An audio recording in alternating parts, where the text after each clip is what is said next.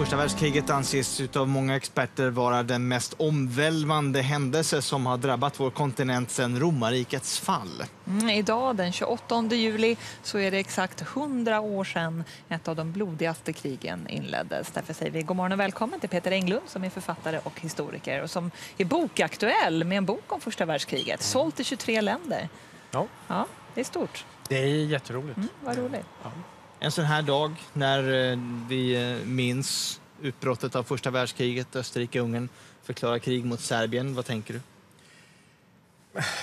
Oj, vilken konstig fråga. Eh, jag tänker till exempel på att det hade varit en, precis en sån här vacker sommar då också.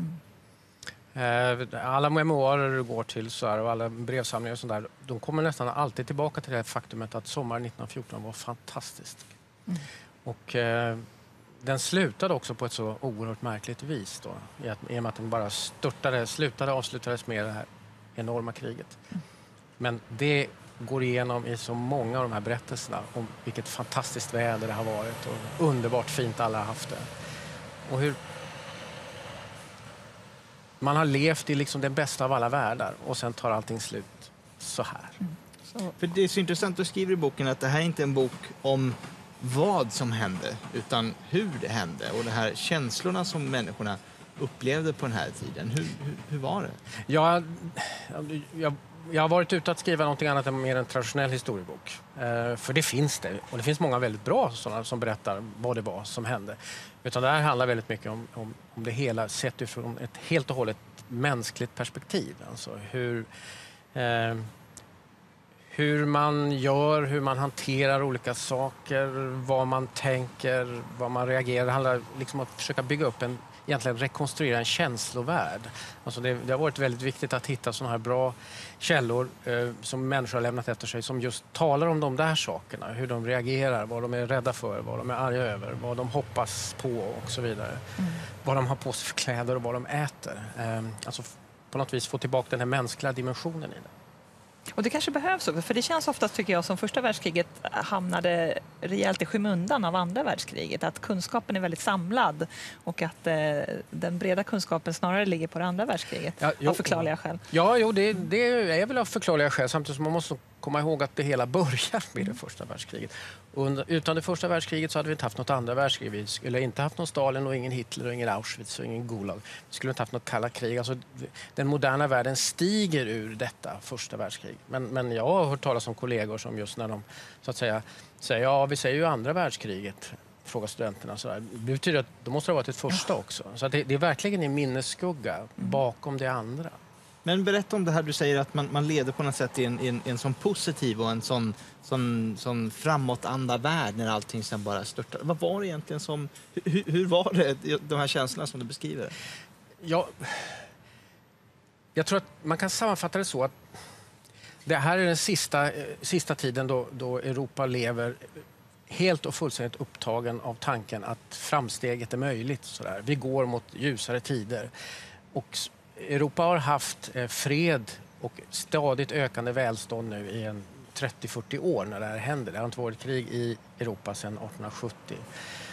Och på något vis så, det är ju det som är en, faktiskt, det verkar konstigt men en del av förklaringen till varför den här stora katastrofen uppstår. Det är just därför att det finns ingen erfarenhet av det här. Att, att all det här freden och välståndet och tekniken har aldrig stått så högt upp. Kulturen, civilisationen står på sin höjdpunkt på något vis. Men det är en del av förklaringen till varför katastrofen också blir möjlig. För människor, många människor har inte fantasi att föreställa sig vad det är som väntar. Man jublar över krigsutbrottet på väldigt många håll. Men man har egentligen ingen aning om vad det är man jublar över. Mm.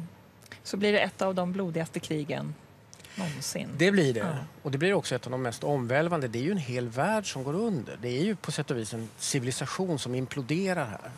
Och det visar sig att all den här kulturen och all den här tekniken och alla de här framstegen, det skyddar inte mot det. Och det är liksom någonting som, det är som en lärdom vi bär med oss än idag. All, all vår kultur och fred och välstånd det skyddar inte mot sådana här eh, händelser. Eller man vill tro det. Ibland. Man vill tro det. Men ibland så är så att säga den här den långa freden och långa välståndet kan ibland vara en förutsättning för det. Det har gått hundra år sedan nu det här utbrottet. Mm. Har vi lärt oss någonting känner du? Jo, det tror jag nog. Det kunde man se redan så att säga, när det blev dags igen då, eh, 20 år senare, 1939. 1914 då var det stor upphetsning och stort jubel i, i Europa. Men sen när det var dags för andra omgången, 1939, så fanns det ingen sån entusiasm någonstans. Inte ens i Tyskland över detta. Då, då visste folk vad det var som stod på spel och de visste också vad som väntade. Så att jag, det har lämnat ett enormt märke på, eh, tror jag, det europeiska Ja, på kontinenten givetvis, vi har en massa nya länder och så vidare. Eh, men även i konsten och litteraturen och sättet att se på, här, se på sådana här saker.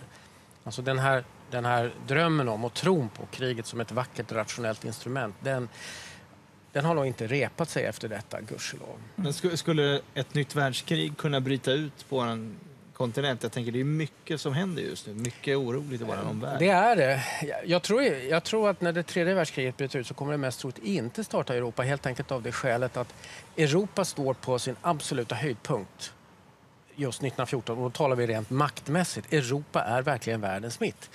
Men i och med första världskriget så bryts detta och Europa förlorar allt mer sin centrala position. Ehm, och Europa är nu blir ju fortsatt allt mer av ett bakvatten, vill jag påstå, globalt. Eh, och det här börjar 1914. Så att nästa gång som det blir ett tredje världskrig skulle jag tro att det bryter ut kanske i Asien eller någonting, men det kommer inte börja här. Vad tycker du är viktigt att eh, minnas från 1914? Hur ska vi minnas den dagen? Det man kanske ska dra sig till minnes det är det här gapet, det här glappet mellan förväntningar och verklighet som, som gjorde att människorna kunde hälsa det här med sånt jubel. Man hade givetvis ingen aning om vad det var som väntade. Men att det finns ett sånt där oerhört glapp. Eh, och det var en enorm känslostorm som drog alla med sig. Alltså man, det går att hitta väldigt, väldigt intelligenta och känsliga personer som även de drabbas av det här ruset, drabbas av den här känslostormen. Så att eh, när man ser en väldigt, väldigt stor folkmassa i rörelse ska man alltid vara lite försiktig. Sådär. Det är väldigt lätt att dras med just av det rent känslomässiga som det skedde 1914. Mm. Som historiker, Peter, hur ser man på tidsperspektivet 100 år? Är det mycket eller lite? Eh, det är lite. Det vill jag påstå, 100 år. Samtidigt som det är 100 år är en, en bra tid, höll jag på att säga. Därför att det innebär att då har vi fått en ordentlig distans. Eh, när saker och ting är allt för mycket nu Alltså då har man väldigt svårt att se vad som är viktigt och oviktigt. Och egentligen har ju saker inte hänt klart riktigt. Vi kan inte förstå vår egen tid. Det kommer vi aldrig kunna göra. Vi måste försöka göra det, men vi kommer aldrig göra det. Efter hundra år, då har det gått så mycket eh, tid så att då kan man börja få syn på vad det här egentligen var. Så hundra år, det är en bra distans för en historiker. Ska man då bli efterklok optimalt? Det, äh, det, det, kan man inte bli. inte om vad gäller ens egen tid. Däremot kan man sitta och göra sig bred om, om det förflutna. Mm. Mm. Men om vi jämför då första världskriget med de oroligheter som vi ser idag. Första världskrigets slag med 90 000 som, som dog i, i ett och samma slag. Hur skulle annars säga att, hur skiljer sig det från vad vi ser idag? Ja, det är ju det är en av de sakerna som du kommer in på. Det, det, skalan på det hela är ju något helt annat eh, då än, än, vad det är idag. Mycket att göra helt enkelt att då i Europa också hade ju de här enorma massarméerna som marscherade ut och slaktades ner i kolossala mängder. Eh, vi, har, vi ser ju ingenstans i, i världen nu strider som liknar det i skala. Eh, framöver vi kommer att se en ny bok varje år nu va, i den här serien? Ja, ja så är det tänkt. Så att, så att säga, 1915 års volym kommer ut 2015, 1916 eh, och så vidare, och så vidare fram till 2018. Vilket är bra för då hinner jag också göra klart alla böckerna allt eftersom. Jag har ju annat jobb att sköta.